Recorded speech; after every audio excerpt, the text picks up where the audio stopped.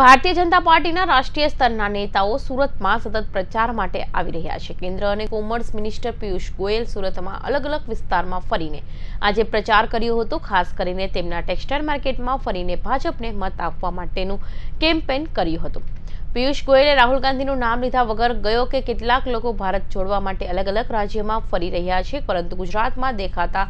સુધાર નથી. કેટલાક લોકોથી જો થોડી સમજ આવી જાય તો તેઓ દેશનો વિકાસમાં પોતાનું યોગદાન આપી શકે છે આજે તેઓ પહેલી વખત ગુજરાતમાં વિધાનસભાની ચૂંટણી પ્રચાર માટે આવ્યા છે તે સારું કર્યું આર્થિક બાબતોને જો તેમને સમજ આવી જાય તો તેઓ જે રાજ્યમાં હાલ તેમની સરકાર છે તેમાં થોડુંક સારું કામ કરી શકશે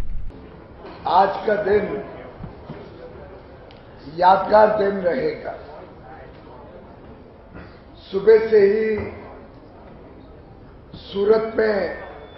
अन्य अन्य क्षेत्र के मित्रों के साथ जिस प्रकार से चर्चा हुई, लोगों के साथ जो सूरत की परिस्थिति है, उसके बारे में जानकारियाँ ली और अलग अलग उद्योग के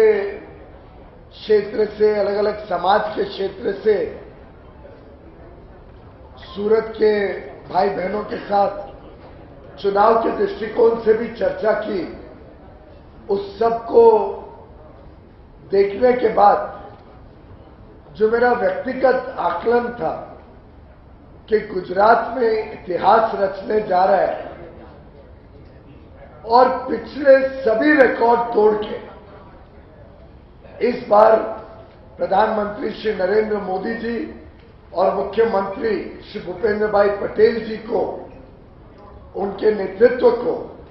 उनके विकास के कामों को और भारतीय जनता पार्टी के एक एक कर्मठ कार्यकर्ता की मेहनत को जनता पूर्ण आशीर्वाद देने जा रही है और विशेषकर सूरत में फिर एक बार 16 की 16 सीटें चाहे शहरी हो या ग्रामीण इलाके में हो सभी सीटों पे भारतीय जनता पार्टी विजयी होगी और पिछले से ज़्यादा बड़े मार्जिन से विजयी होगी। ये पक्का आज का मेरा टेकअवे है, आज का मेरा आकलन है। जो उत्साह, जो जोश भारतीय जनता पार्टी की भरोसेमंद सरकार के ऊपर, विश्वसनीय नेतृत्व के ऊपर सूरत वासियों का दिखा। जिस प्रकार से अलग अलग उद्योग वर्ग, चाहे वो डायमंड, जेमन ज्वेलरी हो, वस्त्र या कपड़ा से जुड़े हुए उद्योग के लोग हों, विभिन्न समाज के नेतागण हो, लगभग सभी का प्रधानमंत्री नरेंद्र मोदी जी के गत 21 वर्षों के दिन रात प्रयास और मेहनत का जो आकर्षण देखने को मिला, जिस संवेदनशीलता से प्रधानमंत्री जी ने गुजरात का विकास और अब पूरे देश में विकास की लहर बढ़ाई है, उसके प्रति सूरत के हर व्यक्ति का विश्वास बढ़ा है, भरोसा बढ़ा है। और लगभग मैदान में कोई कंपटीशन जैसी चीज़ दिखी नहीं।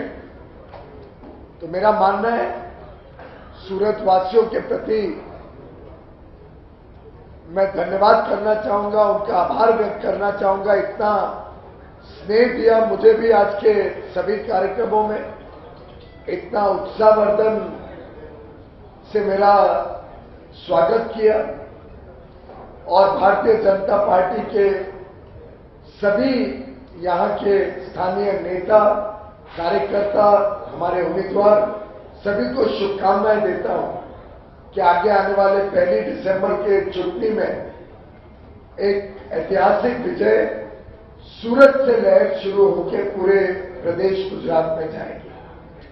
आ લગભગ નક્કી થઈ ગયો છે કે આ ચૂંટણીમાં ભારતીય જનતા પાર્ટીને ઐતિહાસિક વિજય થવાની છે. વડાપ્રધાન નરેન્દ્રભાઈ મોદીની પ્રતિ અને આપણા મુખ્યમંત્રી શ્રી ભૂપેન્દ્રભાઈ પટેલને કામની પ્રતિ બેઓના નેતૃત્વ ઉપર ગુજરાતની જનતાનો પૂરો ભરોસો છે, પૂરો વિશ્વાસ છે અને આ વિશ્વાસ, આ ભરોસા ગુજરાતમાં જ્યાં પણ હું ગયો, પાટણ ગયો, મહેસાણા ગયો, સોમનાથ ગયો, જુનાગઢ ગયો, રાજકોટ ગયો, અમદાવાદ ગયો, પૂરા પ્રદેશમાં આ લહેર જોવા માંગે જોવા મળીએ છે અને મારો આકલન છે કે એક ઐતિહાસિક વિજય